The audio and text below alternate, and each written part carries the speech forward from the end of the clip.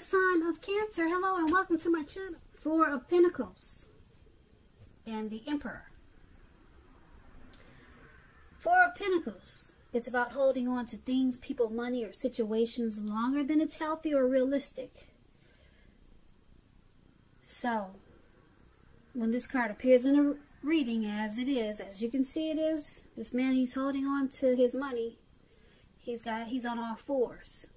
He's got his hands on his Pentacles and his feet on his Pentacles. And if you can see his face, his eyes look like they're about to pop out of his head and his brain is about to explode. So it's a sign that you need to look carefully at what you're clinging to in April and whether others are clinging to you in an unhealthy way. This Four of Pentacles, it's about anxiety, fear, about money and or clinging to whatever makes you feel secure. The key is to try to realize that being anxious and grasping, it will not bring security. That's what the Four Pentacles is about. And when it comes to love and relationships, it's about fear. You could be holding on too tight to a situation or a lover, or someone is attempting to do this to you, Cancer.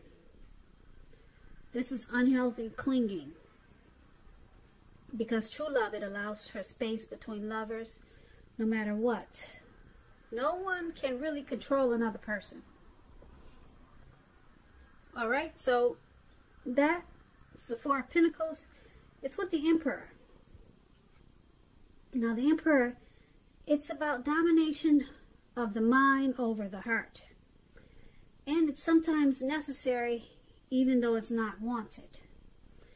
In fact, you should welcome this and that's probably what you must think about when this card appears. When hard choices must be made, it's going to be important for you to maintain your concentration and focus. The Emperor signals this, but he also signals that now is the time that you're going to find it easier to make hard choices.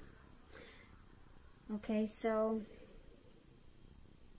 I say this because uh, the emperor, he does not use his heart. He uses his head. So they are the type of people that are leaders, boss. They're very arrogant type of people. Now, this is what we have for you in the, for the present time, the Four of Pentacles and the Emperor. So basically,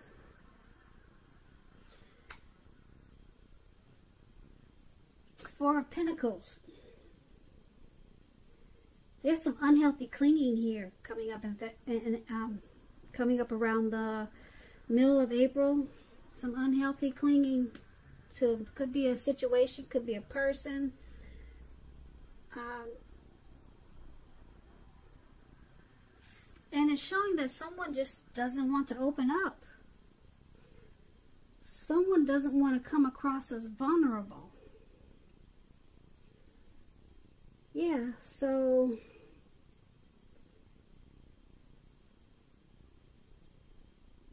or your person is clinging on to this connection in an unhealthy way.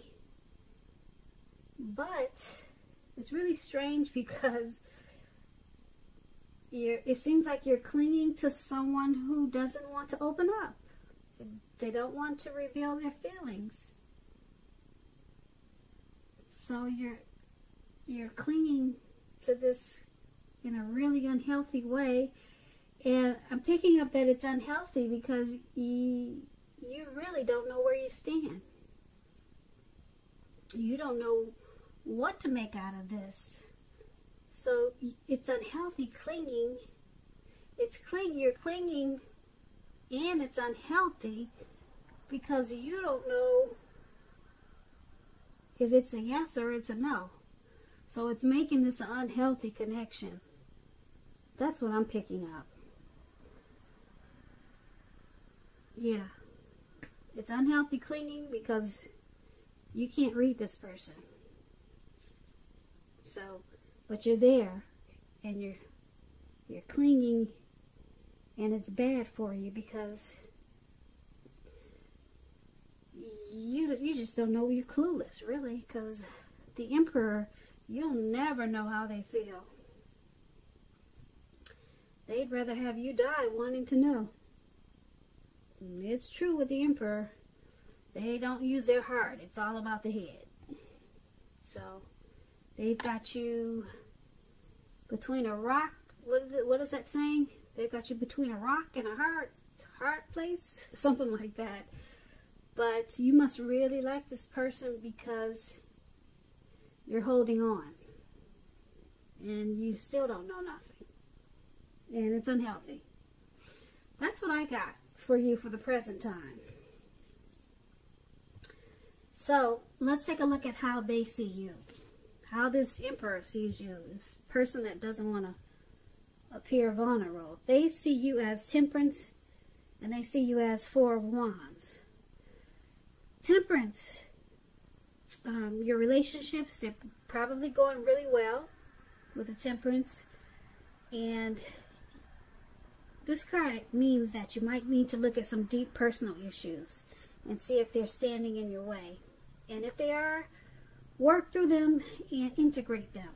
The ideal is to find balance in yourself and with your relationships and any goals and aspirations you have. It's about finding balance and peace. Now, this is how they see you. And they also see you as a Four of Wands. Now, this Four of Wands, it indicates that you may be attending some type of special event. I don't know how with this quarantine going on, but you could be planning something special, put it that way. When it talks about love and relationships, it indicates that your relationship is about to become a whole lot more committed, up to and including potential marriage.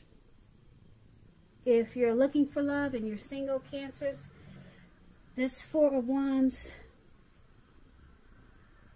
it's showing that special events, weddings, bar mitzvahs, they're all great places to meet someone.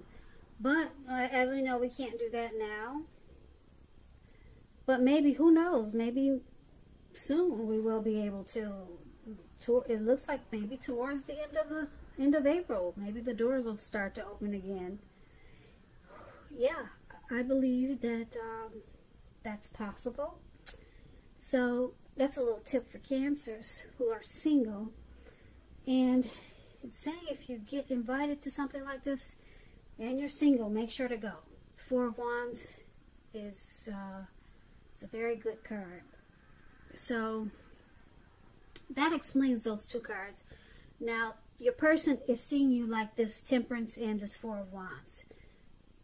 They, even though they don't open up, they keep their feelings to themselves, they do want long-term commitment with you. So they see you as someone that they could, uh, they enjoy. And um, they, they want to commit to you. They see it, they, or they just see it going, they see it as a potential to go to the next level.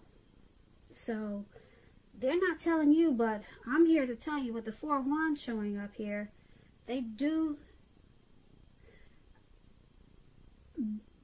I want to say they have feelings for you, but with the Emperor, I don't, you can't figure those people out. So, but I, I can tell you that they want the connection to move forward, to go up a notch, or two, or three. They want to continue and move this connection forward. Like I said, marriage, long-term commitment, that's what you get with the Four of Wands the connection becomes a whole lot more committed. And this is how they see you. But they see you as needing to find balance. So they can see you off balance sometimes. Um, maybe some personal issues. And um, they might hold back a little bit because of this for a little while, but they um, see you as needing to find some type of peace of mind. Maybe you've got some things going on that that are outside of the relationship, and they see you as needing to deal with that. And um, but overall, they they do like being with you, and they um, see you as commitment potential. So let's take a look at how you see them. You see them as Ten of Cups and Six of Wands. Now, these are two great cards. I love both of these cards. Everyone wants the Ten of Cups. It's one of the most lifting cards you can get in a reading. It's about happiness, perhaps in a more mature, grown-up kind of way. It's a wish fulfillment promised by the Nine of Cups. Either way, it's a good card. The 10 speaks of happy family life, even if you're single, to the overall well-being that goes beyond you yourself to include those that you're most concerned about, your parents, siblings, children, and much more, your pets. Being spiritually fulfilled, it's a part of the picture also. Like I said, this is a good card to see regardless. And if you're questioning how your person feels about you, it's an indicator that you really don't have anything to worry about. You and your person, you're on the same page. You, and you probably don't even know it. And I guess you don't know it. You're dealing with the Emperor. Now it's with the Six of Wands. Six of Wands is about victory. If you're anxious about any type of court proceeding, or you want to win your lover's heart, you're going to be victorious. This can indicate any kind of celebration. You could be a part of graduation, commencement celebrations, or you could be receiving some type of reward for good work that you've done. You'll be feeling really good about yourself. Uh, the Six of Wands, when it's about love and relationships, this card suggests that you may need someone to boost your ego. While the other person is perfectly fine doing the boosting and admiring this is called fire of balance. You two feed off of each other energetically. It's that twin flame energy. You can expect a lot of sexual energy. And there's passion and long nights spent in bed with the Six of Wands here. So like I said, these are two beautiful cards. This is how you see your person. You see them as Mm, someone you want to be very successful with. Have a lot of victory with. Steamy nights and a lot of passion. That's how you see them. And you see them as your dream come true with the Ten of Cups. So you really like this person. You really like them. You see them as, yeah, a dream come true, wish fulfillment there's probably a lot of sexual chemistry, a lot of chemistry there. Yeah. So let's take a look at why it's happening. Now it's happening due to the Wheel of Fortune and the Three of Cups. The Wheel of Fortune, it reminds us that this too shall pass. Whether it's good times or bad times, it's going to pass. If suddenly you find yourself sitting on top of the world, keep your perspective, Cancers. Because like everything else, it changes. Live in the now, count your blessings, and just realize that much of life is really out of our control. So just know that that's okay. Roll with any changes and think positive. So this is one of the reasons why it's happening. Uh, the relationship, this connection, it may need to be renegotiated when you get the Wheel of Fortune but let's clarify this. It's with the Three of Cups. The Three of Cups is considered to be a card of reunions. Reunions, possibly running back into someone or something that's been away for a long time. Uh, it's a very happy reunion, very upbeat, It can also mean celebration, your own or someone that you care about. Could be celebrating a new baby, wedding, or some type of happy occasion. So why it's happening um, is because there's a deep, there's a great friendship here.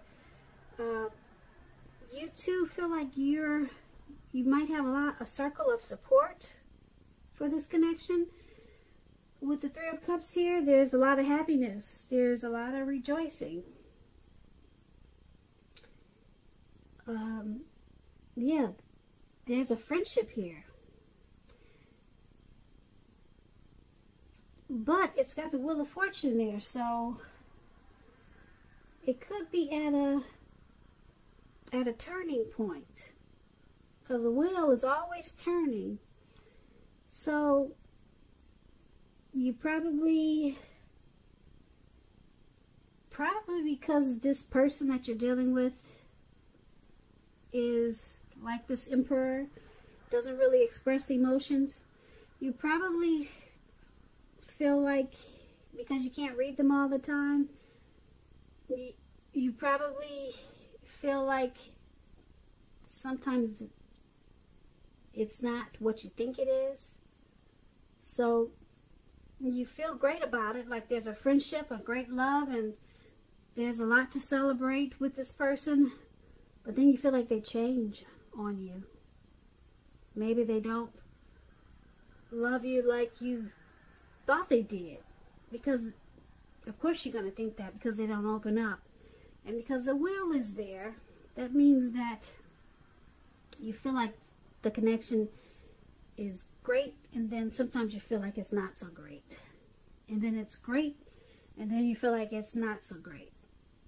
And then it's great, and then you feel like it's not so great. And I'm picking up because this person, they don't open up. But the good thing is that I like that you you have this um, four wands here for how they see you. They do want commitment. They do want to take it to the next level. They see you with some issues though that you need to work out, work on, and then you see them as you, you see them as just everything they're you're happy and um, you want victory and success with them there's a lot of passion in this connection